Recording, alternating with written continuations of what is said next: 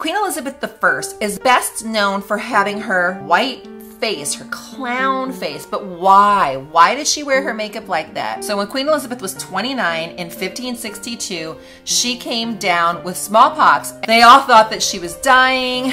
So as she was reviving, she did look different. She didn't know what to do. So she started covering it in like this white makeup, which started to get whiter and whiter. And then she had redder lips. Her face was as white as like any clown. Bozo the Clown, Ronald McDonald, Pennywise. Just problem was there was lead in the paint arsenic. In 1603, at the age of 69, she passed away. Why? Like, what was this disease that took her? She lost most of her hair. She was exhausted. She had memory loss. She had digestive issues, which were all the symptoms of lead poisoning. It's possible that she passed away from consistently wearing this white makeup, which was her trademark